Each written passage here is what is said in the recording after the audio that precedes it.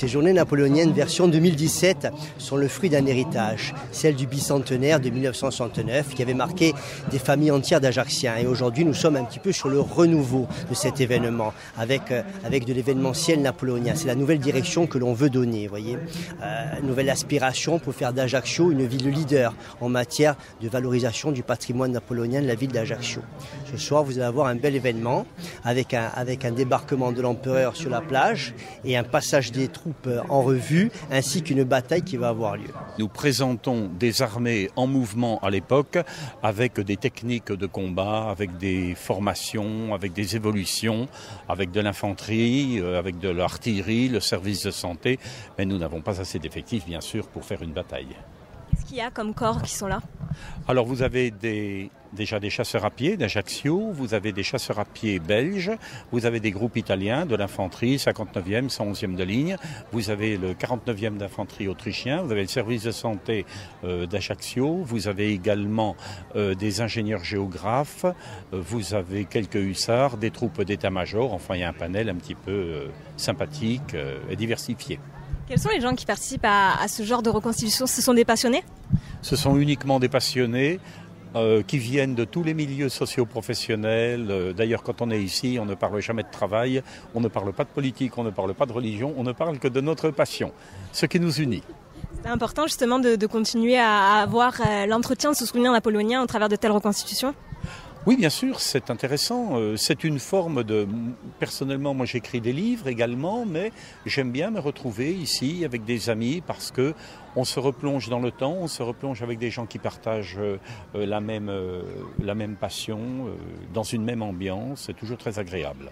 Ajaccio, on le sait, c'est la ville de naissance de l'empereur. Pourtant, pendant longtemps, on a un peu ignoré cet héritage. C'est important aujourd'hui d'essayer de, redorer cet héritage? Ben, les Ajacciens et les Corses, en règle générale, n'ont peut-être pas compris que cette terre avait enfanté l'un des hommes les plus importants de notre histoire, si ce n'est le plus important. À titre d'exemple, je vous dirais qu'actuellement, nous avons 200 réformes civiles de Napoléon, initiées par lui, qui sont toujours applicables aujourd'hui. Combien de chefs d'État pourront, dans deux siècles, faire un même bilan? Vous avez par exemple la Cour des comptes, les préfets, le Code civil, la Légion d'honneur et même le Codex des pharmaciens et la taille des savants de Marseille. Donc de telles reconstitutions, il faut le dire, elles n'ont pas lieu qu'à Ajaccio. C'est que notamment à Waterloo, tous les ans, il y, il y a des reconstitutions qui sont comme ça. Mais est-ce que pour vous, c'est un peu plus important d'être là?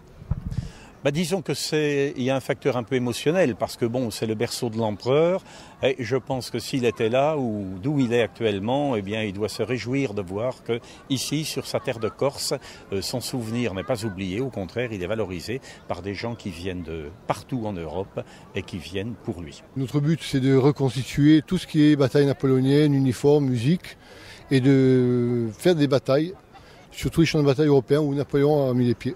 On fait beaucoup de relèves de garde sur Ajaccio l'été. Euh, des batailles comme ça, il faut partir sur le continent, on en fait deux par an. Et là, c'est une première sur Ajaccio avec l'Office du tourisme qui a voulu qu'on fasse une, vraiment à l'échelle plus grande une bataille.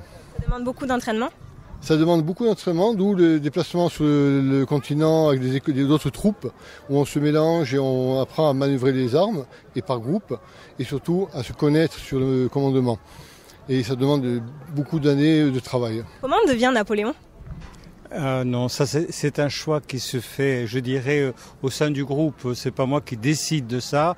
On essaie de trouver, je dirais, par rapport à la taille de la personne, euh, par, par, rapport, je dirais, peut-être à une manière d'être. C'est un choix, je dirais, affectif qu'ont fait mes, mes amis du, des chasseurs à pied de la garde beaucoup plus qu'un choix en disant c'est toi.